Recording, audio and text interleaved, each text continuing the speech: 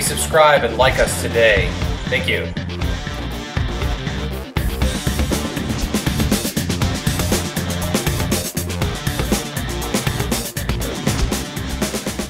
Hey guys, Brian with Team JTR Spartacus here.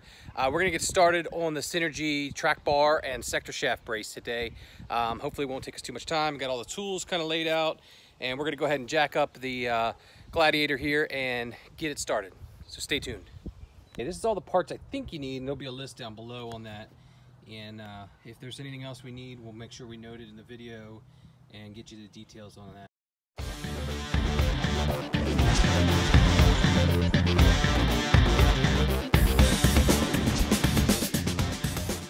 Put on safety stuff here. Uh, we're gonna jack this up, remove the tires. I've already loosened the lug nuts on the ground. Uh, chocked, chocked the, the last, the rear wheels, so they're chocked so it doesn't move. Emergency brakes on. Um, all the sort of standard stuff you wanna do. Okay, I went ahead and loosened the uh, track bar bolt. 21 millimeter socket and 21 millimeter wrench.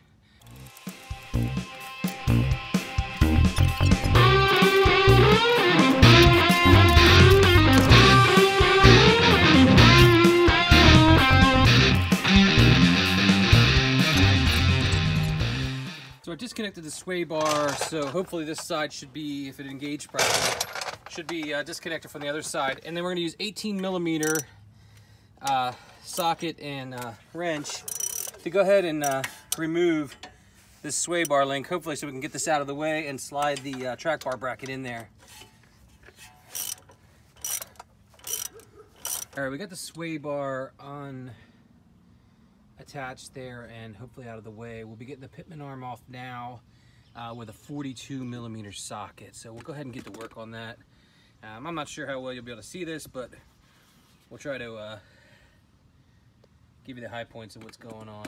And uh, my theory about the um, sway bar is incorrect. This side is not really the free side. The other side's more the free side. So the passenger side with it disconnected. So he can't really move that sway bar out of the way. Hopefully we can slide the piece up underneath there. So we'll see. Get this thing kind of in here.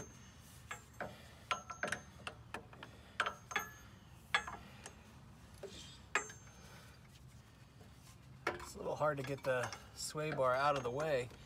Might have to find some kind of universal or something to get in there.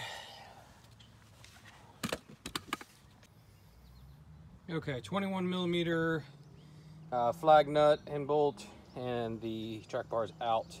Seems like it'll be a lot easier, so we'll see how this works. All right, so now we have room. You get the idea, 42 millimeter, we have room because the track bar is cleared. So I'll go ahead and get that off and then I'll come back. All right, we got that 42 millimeter bolt, this one, off of here. And it was not particularly easy. There was some Loctite on there and a lot of torque, but got it off. All right, now that the old one's removed, this is the old one, uh, you can discard this, and you have this new one that came inside the sleeve from the Synergy kit. So we want to take this and put some uh, red Loctite. So Synergy gives you some red Loctite. We'll get some of that in there, and then we'll just install it up there, and we're going to torque it to 184 pounds. I'll make sure that's in the, uh, the description, but 184 pounds, gonna be a fair amount on there and we'll get that torqued up and, and uh, then we'll get into the next part. So the pitman arm bolt is in now. Uh, I hope you can see that. I can't get down there. And then, so now these are 18. So we're gonna remove these four bolts, two here and two here. Um, and we're going to slide the uh, brace up in there and kind of just put in there hand tight to get it all situated for the next step.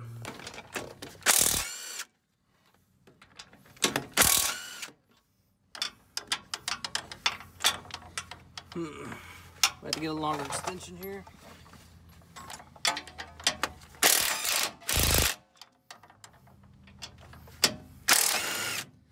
All right, so the box is actually shifting. I don't know if you can see that or not, but the steering box is actually shifting down. We'll have to kind of line it back up um, after we put this uh, bracket in, this bracelet.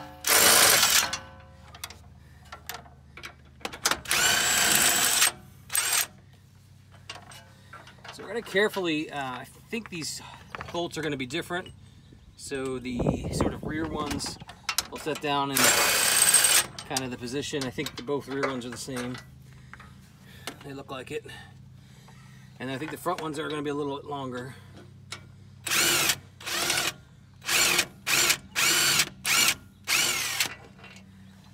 So these front ones are longer, quite a bit longer. That'd be fairly obvious once you see it. There we go. So, kind of give you a quick look. There's the bolts down there.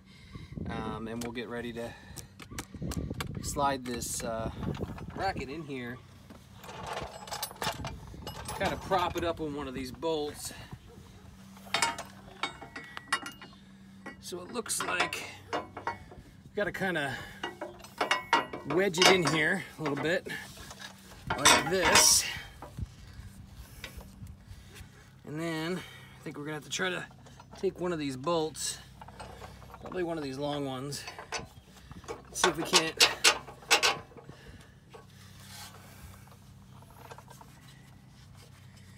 and then try to get the the box to come up a little bit with it. So I got to get under there a little bit and position that box. So we'll come back and then we'll move on to that next part, which is a, a large bolt that has to go in the, the top of the braid. All right, so what I've done is uh, you have to kind of pick up on the box a little bit. The easiest I found is just get the uh, track bar brace somewhat in place and we'll need to line this up. You'll see here. Um, we'll get something to put in there like a socket uh, or something to line that up. And then there's bolt right here. Hopefully you can see that. And this bottom bolt's kind of holding the weight of the, the steering box right now. So um, we'll get that all lined up and get this together. All right, so the next step is this bolt right here. Um, it's extremely tight, but it looks like it'll thread in. Um, and then there's a uh, top lock, nut, and washer that goes on the back side.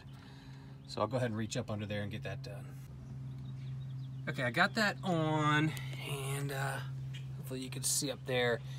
Basically just finger tight for right now. Um, and then the next thing we're gonna do is uh, this hole right here we're going to put this low profile one and it's actually going to be on the inside um, coming out so um, that's going to go in right in there okay now it's time to get this sector shaft brace kind of slid in here um, up on there and we'll have to kind of play around with this a little bit it looks like uh, to get that all lined up but so I'm gonna need both hands for that. So we'll come back and get that tightened up. Okay, so this is getting ready to go in the sector shaft brace.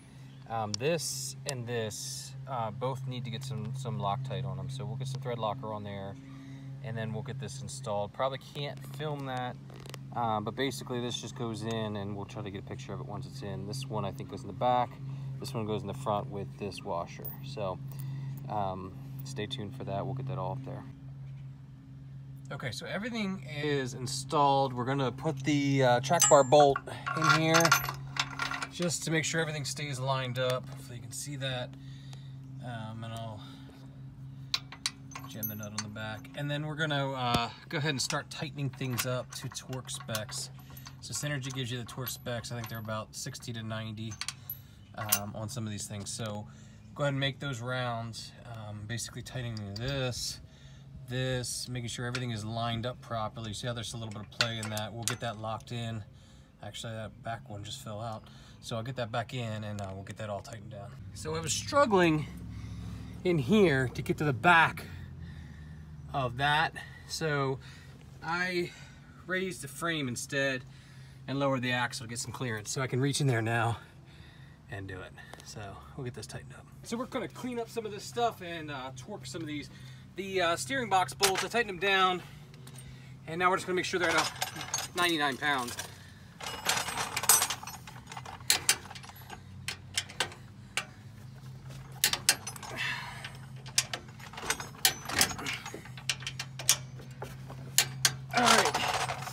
Are torqued in. These guys are at 60. Um, I just got those. I don't know if you can see them. These guys here at 60, I did those already. So make sure you use torque wrench and double check and make sure the stuff's tight enough. Um, I think I got everything clamped down. We're gonna go ahead and get the track bar back together, sway bar back on, and try it out. A couple minor things left. Um, so this little one here goes in the bottom of the actual sector shaft and it gets Loctite on it. So I'm gonna get some of the dirt off of this Loctite and get some on there and we'll get that in. Okay, so overall, uh, kind of a medium difficulty thing. Um, we're gonna go ahead and get the tire back on. I got the other side of the track bar on. We'll get the other, this side, the driver's side on um, once it's on the ground and level. Um, Couple lessons learned. Okay, first, uh, jack the frame up of the Jeep. So check that out and let the axle come down. It'll give you room to work on the back side of that sector shaft. Um, I was finding I was getting jammed up a lot. So the lesson learned there, jack the frame up, rest it on the frame rails. I got two uh, jack stands for safety there and I've got the jack under here under the axle so we don't have any issues. So nice and safe and everything, um, but just get that axle brought down to get out of your way. Um, Next one, remove the track bar. It's just a, it's in the way, um, hard to get leverage on stuff. It's easier just to remove it and set it aside. Um, I found that a lot easier. It's not a big deal. It's one bolt, one extra bolt. So that worked well. Um, other things, um, you know, I think just take your time. It took me about an hour and a half or so, um, and that's with filming and kind of moving stuff around. So an hour is what Synergy says, so it seems pretty reasonable. It could be done in an hour. Um, you know, kind of take your time. If I had to do it again, I'd probably do it in 45 minutes. So um, I hope this helps, folks. Um, I'm gonna go ahead and get this all buttoned up, get the wheel back on, and then we'll go for a test drive and see how it does.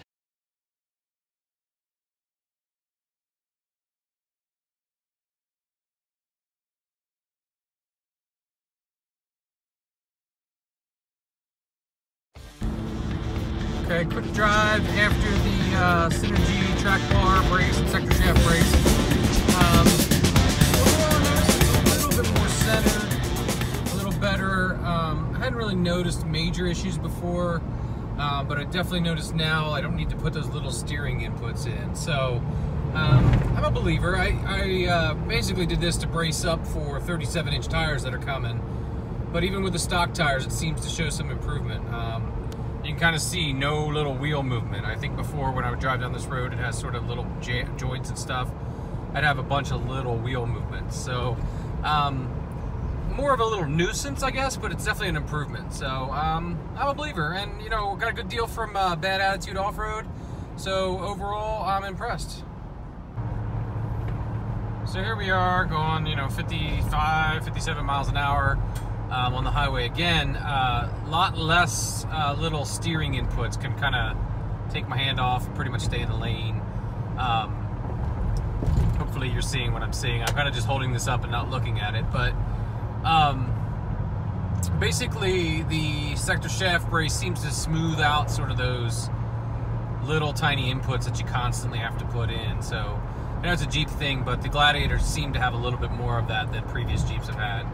So um, definitely a shout out to Jason at Bad Attitude Off Road. Thanks for a good deal and the advice um, on getting this.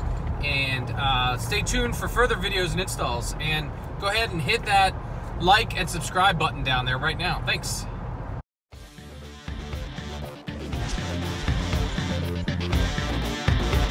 Please subscribe and like us today. Thank you.